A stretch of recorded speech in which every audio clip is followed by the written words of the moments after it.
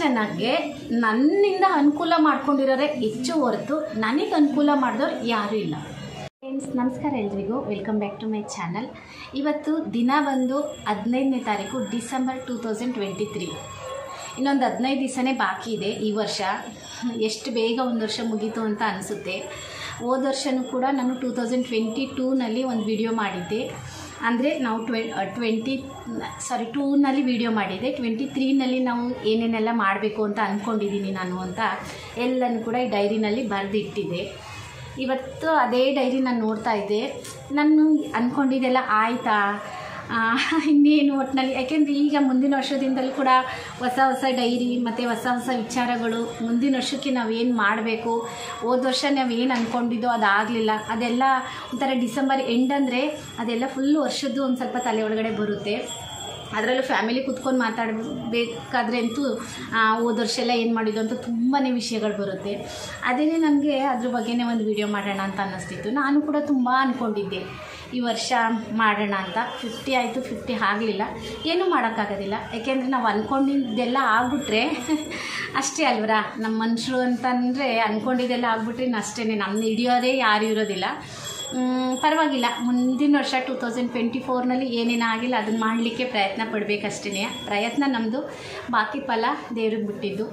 ಮತ್ತು ಈ, ನಾನು ಏನೇನು ಅಂದ್ಕೊಂಡಿದ್ದೆ ಮತ್ತು ಮುಂದೆ ಏನೇನು ಅನ್ಕೋತೀನಿ ಮತ್ತು ಟೂ ತೌಸಂಡ್ ಟ್ವೆಂಟಿ ಫೋರ್ಗೆ ನಾನು ಸ್ವಲ್ಪ ಚೇಂಜಸ್ ಮಾಡ್ಕೊಳ್ಳೋಣ ಅಂತ ಅಂದ್ಕೊಂಡಿದ್ದೀನಿ ಕೆಲವೊಬ್ಬರು ಜನಗಳಿರ್ಬೋದು ಕೆಲವೊಬ್ಬರು ಕೆಲವೊಂದು ವಿಚಾರಗಳಿರ್ಬೋದು, ಮತ್ತು ನನ್ನ ಕೆಟ್ಟ ಅಭ್ಯಾಸಗಳಿರ್ಬೋದು, ಮತ್ತು ನನ್ನ ಒಳ್ಳೆಯ ಅಭ್ಯಾಸಗಳು ಅದೇನಾದರೂ ಕೂಡ ಅತಿಯಾಗಿದ್ದರೆ ಅದನ್ನು ಕಮ್ಮಿ ಮಾಡ್ಕೋಬೇಕು. ಏಕೆಂದರೆ ಅಮೃತನೂ ಕೂಡ ವಿಷನೇಯ. ಜಾಸ್ತಿ ಒಳ್ಳೆತನನೂ ಕೂಡ ಒಳ್ಳೆಯದಲ್ಲ ಮತ್ತು ಯಾವ್ಯಾವ ಜನಗಳು ಹೇಗೆ, ಅದೆಲ್ಲನೂ ಕೂಡ ಸ್ವಲ್ಪ, ಅಂದರೆ ನಾನು ಕೂಡ ಸ್ವಲ್ಪ ಚೇಂಜಸ್ ಆಗಬೇಕು ಚೇಂಜಸ್ ಮಾಡ್ಕೋಬೇಕು ಅಂತ ನಾನಂತೂ ಫುಲ್ ಹಂಡ್ರೆಡ್ ಪರ್ಸೆಂಟ್ ಅಂದ್ಕೊಂಡಿದ್ದೀನಿ ಅದೇನು ಅಂತಲೂ ಕೂಡ ನಾನು ನಿಮ್ಮ ಜೊತೆ ಇದೇ ವಿಡಿಯೋದಲ್ಲಿ ಶೇರ್ ಮಾಡ್ಕೋತೀನಿ. ನನ್ನ ಕೆಟ್ಟ ಅಭ್ಯಾಸಗಳು. ಆ, ಏನೇನು ಅಂತಲೂ ಕೂಡ ನಾನು ನಿಮ್ಮ ಜೊತೆ ಶೇರ್ ಮಾಡ್ಕೋತೀನಿ. ಕೆಟ್ಟ ಅಭ್ಯಾಸಗಳು ಏನೇನು ಗೊತ್ತಾ? ಒಂದೊಂದು ಸಲ ನನ್ನ ಮಗಳೇ ನನಗೆ ಹೇಳ್ತಿರ್ತಾಳೆ ಮೊದಲನೇದಾಗಿ, ಇದೇನು ಅಷ್ಟು ಇಂಪಾರ್ಟೆಂಟ್ ಅಲ್ಲ ಅಂತ ನಿಮ್ಗೆ ಅನ್ನಿಸ್ಬೋದು. ಪ್ರತಿಯೊಂದು ನಮ್ಮ ಲೈಫ್ನಲ್ಲಿ ಇಂಪಾರ್ಟೆಂಟೇ ಫ್ರೆಂಡ್ಸ್ ಏಕೆಂದರೆ ನಾವು ನಾವು ಅನ್ಕೋತೀವಿ, ಇದೇನು ಅಷ್ಟೇನು ಮಹಾನ ಅಂತ. ಇಲ್ಲ, ಯೋಚನೆ ಮಾಡಬೇಕು ಅಂದರೆ ಎಲ್ಲನೂ ಕೂಡ ಮುಖ್ಯನೇ. ನಂದು ಒಂದು ಕೆಟ್ಟ ಅಭ್ಯಾಸ ಅಂದರೆ ಏನು ಗೊತ್ತಾ? ಈಗ ಮಾರ್ಕೆಟ್ನಲ್ಲಿ ರಸ್ತೆನಲ್ಲಿ ಹೋಗ್ತಿರ್ತೀನ. ಅಷ್ಟು ದೂರ ಒಬ್ಬರು ಬರ್ತಾ ಇರ್ತಾರೆ ಅಂದ್ಕೊಳ್ಳಿ ಯಾರೋ ಪರಿಚಯದವರು. ಅಥವಾ ಪಕ್ಕದಲ್ಲೇ ಈಗ ಒಬ್ಬರು ಈಗ ಮಾರ್ಕೆಟ್ನಲ್ಲಿ ಒಬ್ಬರು ಒಂದು ಟೊಮೊಟೊ ಖರೀದಿ ಮಾಡ್ತಿರ್ತಾರೆ. ಅವ್ರು ಆ ಕಡೆ ನಿಂತ್ಕೊಂಡು ಖರೀದಿ ಮಾಡ್ತಿರ್ತಾರೆ. ಅಥವಾ ನಾನು ಇಷ್ಟು ದೂರಿಂದ ಬರಬೇಕಾದ್ರೆ ಈಗ ಟೊಮೊಟೊ ಖರೀದಿ ಮಾಡಬೇಕು ಅಂದರೆ ನಾವು ಹೀಗೀಗೆ ತಲೆ ಆಡಿಸಿ ಆಡಿಸ್ತೀವಿ. ಈಗ ಒಬ್ರು ಅಲ್ಲಿ ಬರ್ತಾ ಇದ್ದಾರೆ ನಾನು ಹಿಂದಗಡೆನೆ ಹೋಯ್ತಾರೆ ಅಂತ ಅಂದಾಗ ನಮ್ಗೆ ಅವ್ರ ಪರಿಚಯದವರು ಅವ್ರ ಜೊತೆ ನಮಗೆ ಮಾತಾಡಬೇಕು. ಅಟ್ಲೀಸ್ಟ್ ನಾವೇ ತುಂಬ ಮಾತಾಡಲಿಲ್ಲ ಅಂದರೂ, ಹಾಯ್ ಅಥವಾ ಒಂದು ಸ್ಮೈಲ್ ಆದರೂ ಕೊಡಬೇಕು ಅನ್ನೋದು ನಮ್ಮ ಮನಸ್ಸಿನಲ್ಲಿದ್ದರೆ ನಮಗೆ ಗೊತ್ತಾಗ್ಬಿಡುತ್ತೆ ಹಿಂದೆಗಡೆ ಹೋಗ್ಬೇಕಾದ್ರೆ. ಅಥವಾ ಅಷ್ಟು ದೂರದಲ್ಲಿದ್ರೂ ಅಥವಾ ಹಿಂದೆ ಹೋಗ್ತಾ ಮುಂದೆ ಹೋಗ್ಬೇಕಾದ್ರೂ ಕೂಡ ಅವ್ರು ಹಿಂದೆ ನೋಡಿದ್ರು ಕೂಡ ನಮಗೆ ಗೊತ್ತಾಗ್ತದೆ ಅವರು ಅವರೇನೆ ಅಂತ. ನನ್ನ ಸ್ವಭಾವ ಏನು ಗೊತ್ತಾ? ಅದು ಯಾರೇ ಆದರೂ ತಕ್ಷಣ ಮಾತಾಡಿಸ್ಬಿಡ್ತೀನಿ. ಪರಿಚಯದ ಇದ್ದಾರೆ ಅಂತ ಅಂದರೆ ಅದು ಅಲ್ಲಿ ದೂರ ಹೋಗ್ತಿದ್ರು ಅಷ್ಟೇ ಸ್ಮೈಲ್ ಕೊಡ್ತೀನಿ ಅಥವಾ ಹತ್ರದಲ್ಲಿ ನಾನು ಅವ್ರು ಹೋಯ್ತಿದ್ದೀನಿ ಅಂದರೆ ಹಿಂಗೆ ಮುಟ್ಟಾದರೂ ಸ್ಮೈಲ್ ಕೊಟ್ಟು ಹೋಗ್ತೀನಿ. ಅದೊಂದು ನಂದು ಕೆಟ್ಟ ಸ್ವಭಾವ. ಅದು ಆ್ಯಕ್ಚುಲಿ ಅದು ಕೆಟ್ಟ ಸ್ವಭಾವ ಅಲ್ಲ. ಆದರೆ ಈಗ ನನಗೆ ಅನ್ನಿಸ್ತಾ ಇದೆ ಅದನ್ನು ಕೆಟ್ಟ ಸ್ವಭಾವನೇ ಅಂತ. ಏಕೆಂದರೆ ಕೆಲವೊಬ್ಬರು ಅವ್ರು ನೋಡಿರ್ತಾರೆ ನಮಗೆ. ನನ್ನ ಮಗಳು ಹೇಳ್ತಾಳೆ, ಮಮ್ಮಿ, ಅವ್ರು ನೋಡ್ದಲ್ಲೇ ಇರ್ತಾರೆ, ಅವ್ರು ನೋಡಿರ್ತಾರೆ, ನೀನು ಯಾಕೆ ಮಾತಾಡ್ಸೋಕೆ ಹೋಗ್ತೀರಿ? ನೀವು ಮಾತಾಡಿಸ್ಬೇಡಿ ಅಂತ ಅವಳು ಎಷ್ಟು ಸಲ ನನಗೆ ಸಿಟ್ಕೊಂಡಿದ್ದಾಳೆ. ಮಮ್ಮಿ, ಇಷ್ಟು ಕೂಡ ನಾವು ಇದು ಮಾ, ಬಾವು ಕೊಡೋಕೆ ಹೋಗ್ಬಾರ್ದು ಅವ್ರಿಗೆ. ಅವ್ರಿಗೆ ಗೊತ್ತಲ್ಲ ನೀವು ಇಲ್ಲಿದ್ದೀರಿ ಅಂತ, ಅವರೇ ಮಾತಾಡಿಸ್ಲಿಲ್ಲ. ಅಂದರೆ ನೀವು ಯಾಕೆ ಮಾತಾಡ್ಸ್ಕೊಂಡು ಹೋಗಬೇಕು? ಅವಳು ಬೈತಿರ್ತಾಳೆ, ಇಷ್ಟು ಇಂಪಾರ್ಟೆನ್ಸ್ ಎಲ್, ಎಲ್ರಿಗೂ ಕೊಡೋಕೆ ಹೋಗ್ಬಾರ್ದು. ಅದಕ್ಕೇ ಅವ್ರು ನಮ್ಮನ್ನು ಕೇವಲವಾಗಿ ತಿಳ್ಕೊಳ್ಳೋದು ಅಂತ ಇವಳು ತುಂಬ ಸಲ ಹೇಳ್ತಿರ್ತಾಳೆ. ಅದೊಂದು ಸ್ವಭಾವನ ಕಮ್ಮಿ ಮಾಡ್ಕೋಬೇಕು. ಹಂಗಂತಲ್ಲ ನಾವು ಪ್ರತಿಯೊಬ್ಬರಿಗೂ ಅದೇ ಥರ ಮಾಡಬೇಕು ಅಂತ ನಮಗೆ ಗೊತ್ತಾಗ್ಬಿಡುತ್ತೆ. ಇವ್ರು ಹೀಗೆ ಇವ್ರು ಹೀಗೆ ಅಂತ. ಏಕೆಂದರೆ ಅವರು ಹಿಂದೆಲ್ಲ ನಮ್ಗೆ ನಮ್ಮ ಜೊತೆ ತುಂಬ ಸಲ ಹಾಗೆ ನೋಡಿದ್ರು, ನೋಡದೇ ಇರೋ ರೀತಿ ಮಾತಾಡ್ತಿರ್ತಾರೆ.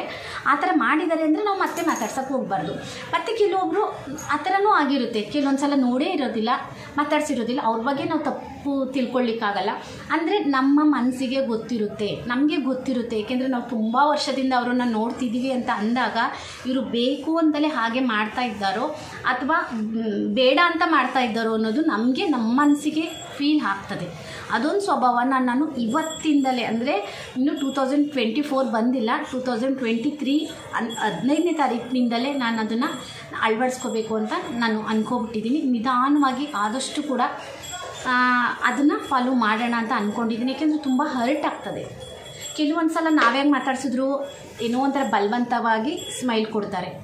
ಏಕೆಂದರೆ ಹಂಗಂತಲ್ಲ ನಾನು ವಿಡಿಯೋವರೆಲ್ಲ ಪರಿಚಯದವರೆಲ್ಲ ಮಾತಾಡ್ತೀನಿ ಅವರು ನಮ್ಮ ಮನೆಗಳಿಗೆ ಬಂದಾಗ ಅಥವಾ ನಾವು ಅವ್ರ ಮನೆಗೆ ಹೋದಾಗ ನಾವು ಇಂದೊಂದು ಟೈಮ್ನಲ್ಲಿ ತುಂಬ ಫ್ರೆಂಡ್ಲಿ ಆಗಿರ್ತೀವಿ, ತುಂಬ ಸಂಪರ್ಕದಲ್ಲಿರ್ತೀವಿ. ಸಡನ್ನಾಗಿ ಅವರೊಂದು ಮಟ್ಟಕ್ಕೆ ಹೋದಾಗ ಅಥವಾ ಅವರು ಇನ್ನೊಂದು ಏನೋ ಒಂದು ಲೆವೆಲಿಗೆ ಬಂದಾಗ ಅಂದಾಗ ಅಹಂ ಅನ್ನೋದು ಅವ್ರಿಗೆ ಬಂದಾಗ ನಮಗೆ ಗೊತ್ತಿರೋದಿಲ್ಲ. ಅವ್ರಿಗೆ ಅಹಂ ಬಂದಿದೆ ಅಂತ, ಅವ್ರ ಲೈಫ್ ಸ್ಟೈಲ್ ಚೇಂಜ್ ಮಾಡ್ಕೊಂಡಿದ್ದಾರೆ ಅಂತ.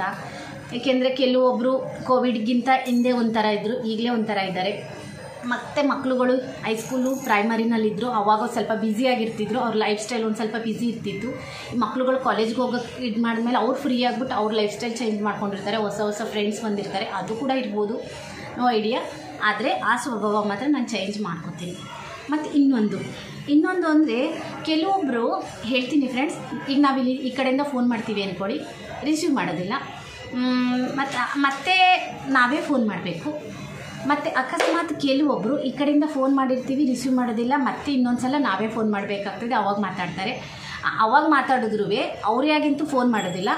ಆಮೇಲೆ ಮತ್ತೆ ನಾವೇ ಮಾತ್, ಮಾಡಬೇಕು. ಅವಾಗ ಮಾತಾಡ್ತಾರೆ. ಅವ ಮತ್ತು ಅವಾಗ ನಮಗೊಂಥರ ಹರ್ಟ್ ಆಗ್ತದೆ. ಯಾಕೆಂದರೆ ಈಗ ನಮ್ಗೆ ಹೇಗೆ ಅವ್ರ ಜೊತೆ ಮಾತಾಡಬೇಕು ಅನ್ನೋದು ಇಷ್ಟ ಇರ್ತದೋ, ಹಾಗೆ ಅವ್ರ ಮನಸ್ಸಿನಲ್ಲೂ ಕೂಡ ಬರಬೇಕು. ನಾವು ಇವ್ರ ಜೊತೆ ಮಾತಾಡಬೇಕು ಅಂತ.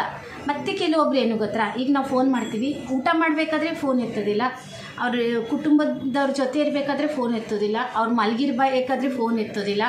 ಮತ್ತಿನ್ನು ಅವರು ಕೆಲಸ ಮಾಡಬೇಕಾದ್ರೂ ಫೋನ್ ಎತ್ತೋದಿಲ್ಲ. ಅವರು ಫ್ರೀಯಾಗಿದ್ದಾಗಲೇ ಫೋನ್ ಎತ್ತಿ ಮಾತಾಡುವಂಥದ್ದು. ಏನೋ ಒಂಥರ ಬ್ಯುಸಿ ಇದ್ದೀವಿ ಅನ್ನೋ ರೀತಿಯಲ್ಲಿ ತೋರ್ಪಡೆ ಮಾಡ್ಕೊಳ್ಳುವಂಥದ್ದು. ಫ್ರೆಂಡ್ಸ್ ನಾವು ಬ್ಯುಸಿ ಇರ್ತೀವಿ. ಈ ಕಾಲದಲ್ಲಿ ಯಾರು ಕೂಡ ಅಷ್ಟು ಫ್ರೀಯಾಗಿ ಕೂತಿರೋರಲ್ಲ. ಹೌಸ್ ಮೇಕರ್ ಆದರೂ ಕೂಡ ಅವ್ರ ತಕ್ಕ ಹಾಗೆ ಅವ್ರು ಬ್ಯುಸಿ ಅನ್ನೋದು ಇದ್ದೇ ಇರ್ತಾರೆ. ಆಮೇಲೆ ಅಕಸ್ಮಾತ್ ಫೋನ್ ಎತ್ತಿ ಮಾತಾಡಿದ್ರು ಏನೋ ಒಂಥರ ತುಂಬ ಬ್ಯುಸಿ ಐತೆ ಅನ್ನೋ ರೀತಿಯಲ್ಲಿ ಮಾತಾಡೋವಂಥದ್ದು. ಆಮೇಲೆ ಅವರು ವಾಪಸ್ ಫೋನ್ ಕೂಡ ಮಾಡಲ್ಲ. ಮತ್ತು ಅವ್ರದ್ದೇನಾದರೂ ವಿಚಾರ ನಮ್ಮ ಹತ್ರ ಶೇರ್ ಮಾಡ್ಕೊಳ್ಳೋದಿದ್ದರೆ ಅವ್ರದ್ದೇನಾದರೂ ಡೌಟ್ ಕ್ಲಿಯರ್ ಮಾಡ್ಕೊಳ್ಳೋದಿದ್ದರೆ ನಮ್ಮ ಹತ್ರ ಏನಾದರೂ ಕೇಳೋದಿದ್ರೆ, ಅವ್ರು ಎಷ್ಟೇ ಬ್ಯುಸಿ ಇದ್ದರೂ ಕೂಡ ನಾವೆಷ್ಟೇ ಬ್ಯುಸಿ ಇದ್ದರೂ ಕೂಡ ಮತ್ತೆ ಮತ್ತೆ ಮತ್ತೆ ಮತ್ತೆ ಫೋನ್ ಮಾಡೋವಂಥದ್ದು ಗಂಟೆಗಟ್ಟಲೆ ಮಾತಾಡೋದು. ಅಂದರೆ ಅವರು ಕ್ಲಿಯರ್ ಮಾಡ್ಕೊಬಿಡೋವಂಥದ್ದು. ಅದೇ ನಾವು ಫೋನ್ ಮಾಡಿದಾಗ ಯಾವಾಗಲೂ, ಹಾಂ, ಊಟ ಮಾಡ್ತಾಯಿದ್ವಿ ಆಮೇಲೆ, ಹಾಂ, ನಮ್ಮ ಯಜಮಾನರು ಇದ್ದರು ಅಥವಾ ಇನ್ನೇನೋ ಕೆಲಸ ಮಾಡ್ತಾಯಿದ್ವಿ ಹಾಂ, ಪೂಜೆ ಮಾಡ್ತಿದ್ವಿ. ಬೇರೆ ಏನಾದರೂ ಕೂಡ ಹೇಳ್ತಾರೆ. ಅಂದರೆ ನಾನು ಹೇಳೋದು ಅಂದರೆ, ಅವ್ರಿಗೆ ಮಾತ್ರ ಟೈಮು ನಮಗೆ ಟೈಮ್ ಇಲ್ವಾ? ಒಂದು ಹೇಳ್ತಿದ್ದೀನಿ, ನಾನು ಅದೇನೇ ಇಂಪಾರ್ಟೆನ್ಸ್ ಇನ್ಮೇಲೆ ಕೊಡ್ತೀನಿ. ನಾನು ತುಂಬ ವರ್ಷದಿಂದ ಡೈರಿ ಬರಿತಿದ್ದೀನಿ. ನಾನು ಡೈರಿ ಬರೆಯೋಕ್ಕೆ ಶುರು ಮಾಡಿದ್ದು ತುಂಬಾ ನನ್ನ ಮಗಳು ನರ್ಸರಿ ಜೂನಿಯರ್ನಲ್ಲಿ ಇರ್ಬೇಕಾದ್ರೆ ಒನ್ ಟು ತ್ರೀ ಬರೀಲಿಕ್ಕೆ ಬಾಕ್ಸು ನೋಟ್ಬುಕ್ ಖರೀದಿ ಮಾಡ್ತಾಯಿದ್ದು ಫೋರ್ ಲೈನ್ದು ಎ ಬಿ ಸಿ ಡಿದು ಖರೀದಿ ಮಾಡ್ತಿದ್ವಲ್ಲ, ಅವಾಗ ನಾನು ಡೈರಿ ಖರೀದಿ ಮಾಡ್ತಿದ್ದಿಲ್ಲ. ಅಥವಾ ಸಿಂಗಲ್ ನೋಟ್ಬುಕ್ನು ಕೂಡ ಖರೀದಿ ಮಾಡ್ತಿದ್ದಿಲ್ಲ. ಅವಳು ಏನು ನೋಟ್ಬುಕ್ ತಂದಿರ್ತಿದ್ವೋ, ಅದರಲ್ಲೇ ನಾನು ಬರೆಯೋಕ್ಕೆ ಶುರು ಮಾಡಿದ್ದೀನಿ. ನಾನು ಇವಾಗ ಡೈರಿ ನೋಡಿದ್ರು ಕೂಡ ತುಂಬ, ಅಂದರೆ ಅವಾಗ ಬಾಕ್ಸ್ ಒನ್ ಟು ತ್ರೀ ಬರೆಯೋಕ್ಕೆ ಸಿಗ್ತದಲ್ಲ, ಅದರಲ್ಲೂ ಕೂಡ ನಾನು ಡೈರಿ ಶುರು ಮಾಡಿರೋವಂಥದ್ದು. ಆವಾಗ ಅದಕ್ಕೋಸ್ಕರನೇ ನಾನು ಸಪ್ರೇಟ್ ಡೈರಿ ಏನು ತೊಗೊಂಡಿಲ್ಲ. ಆವಾಗಲೂ ಕೂಡ ನಾನು ದಿನಚರಿ ಬರಿತಾ ಇದ್ದೀನಿ. ಅದೆಲ್ಲನೂ ಕೂಡ ನಾನು ಮೆಲುಕು ಹಾಕ್ದಾಗ ತುಂಬ ಜನಕ್ಕೆ ನನ್ನಿಂದ ಅನುಕೂಲ ಮಾಡ್ಕೊಂಡಿರೋರೆ ಹೆಚ್ಚು ಹೊರತು ನನಗೆ ಅನುಕೂಲ ಮಾಡಿದವ್ರು ಯಾರೂ ಇಲ್ಲ. ನಾನು ಹಂಗೆ ಯೋಚನೆ ಮಾಡಿದೆ. ತುಂಬ ಜನ ನನ್ನಿಂದಲೇ ಅನುಕೂಲ ಮಾಡ್ಕೊಂಡು ನನಗೆ ಹರ್ಟ್ ಮಾಡ್ತಾ ಇದ್ದಾರೆ. ನನ್ನಿಂದಲೇ ಅನುಕೂಲ ಮಾಡ್ಕೊಂಡು ಚೆನ್ನಾಗಿದ್ಬಿಟ್ಟು ಮುನ್ನೆ ಮರ್ತ್ಕೊಂಡಿದ್ದಾರೆ. ಮತ್ತು ನಮ್ಮಿಂದಲೇ ಅನುಕೂಲ ಮಾಡ್ಕೊಂಡು ಮತ್ತೆ ನಮ್ಮನ್ನೇ ದೂರ್ತಾರೆ ನನಗೆ ಅವರಿಂದ ಒಂದು ಚೂರು ಕೂಡ ಅನುಕೂಲ ಆಗಿಲ್ಲ. ಮನಿ ಇರ್ಬೋದು, ಎಲ್ಲದಕ್ಕೂ ಮನಿ ಅನ್ನೋದು ಹ್ಯಾಡ್ ಮಾಡೋಕ್ಕಾಗೋದಿಲ್ಲ. ಅಟ್ಲೀಸ್ಟ್ ನಾವು ಕಷ್ಟದಲ್ಲಿದ್ದಾಗ ಹೇಗಿದ್ದೀರಿ? ಚೆನ್ನಾಗಿದ್ದೀರಾ? ಅಟ್ಲೀಸ್ಟ್ ಎಲ್ಲ ಪೈಸದಿಂದಲೇ ಆಗ್ತದೆ ಅಂತ ಹೇಳಲಿಕ್ಕಾಗಲ್ಲ. ನಾವು ಕಷ್ಟದಲ್ಲಿ ಇದ್ದೀವಿ ಅಂದಾಗ ಅವ್ರೊಂದು ಕಾಲ್ ಮಾಡಿ, ಹೇಗಿದ್ದೀರಿ? ಹುಷಾರಾಗಿರು.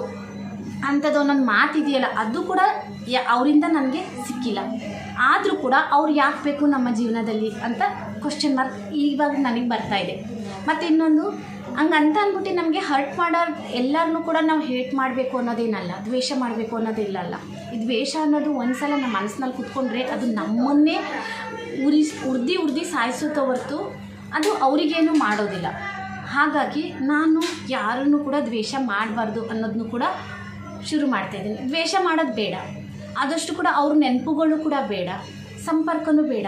ಯಾವಾಗಲೂ ಒಮ್ಮೆ ಮಾತಾಡಿದಾಗ, ಸಿಕ್ಕಿದಾಗ ಮಾತಾಡೋಣ, ಚೆನ್ನಾಗಿರೋಣ ಸ್ಮೈಲ್ ಕೊಡೋಣ. ಹಂಗೆ ಅಂದ್ಬಿಟ್ಟು ಅವರಿಗೋಸ್ಕರ ನಾನು ಹಂಡ್ರೆಡ್ ಪರ್ಸೆಂಟ್ ಇಂಪಾರ್ಟೆನ್ಸ್ ಕೊಟ್ಕೊಂಡು ಅವ್ರು ಹಂಗಂದ್ರು ಅವ್ರು ಹಂಗಂದ್ರು ಅಥವಾ ಅವ್ರಂಗೆ ಮಾಡಿದರು ಅಂತ ಹೆಚ್ಚು ನನ್ನ ಲೈಫ್ನಲ್ಲಿ ಅವ್ರ ವಿಷಯಗಳನ್ನ ತೊಗೊಂಡೋಗೋದು ಬೇಡ ಅಂತ ನಾನು ಹಂಡ್ರೆಡ್ ಪರ್ಸೆಂಟೇ ಡಿಸೈಡ್ ಮಾಡಿದ್ದೀನಿ. ಇರಲಿ ಹಂಗೆ ಅಂದ್ಬಿಟ್ಟು ನಾವು ಪ್ರತಿಯೊಬ್ಬರೂ ಕೂಡ ಜೀವನದಿಂದ ದೂರ ಇಡ್ತೀನಿ ನಮ್ಮ ಫ್ಯಾಮಿಲಿಯಿಂದ ದೂರ ಇಡೋಣ ಅವ್ರನ್ನ ಮುಖ ನೋಡೋದು ಬೇಡ, ಅವ್ರು ಬೇಡ ನಮ್ಮ ಜೀವನದಲ್ಲಿ ಅಂತ ಹೇಳಲಿಕ್ಕಾಗಲ್ಲ. ಆ ಥರ ಹೋದರೆ ಯಾ- ಈಗ ನೋಡಿ, ಐದು ಬೆಟ್ಟು ಕೂಡ ನೀರ ಇಲ್ಲ.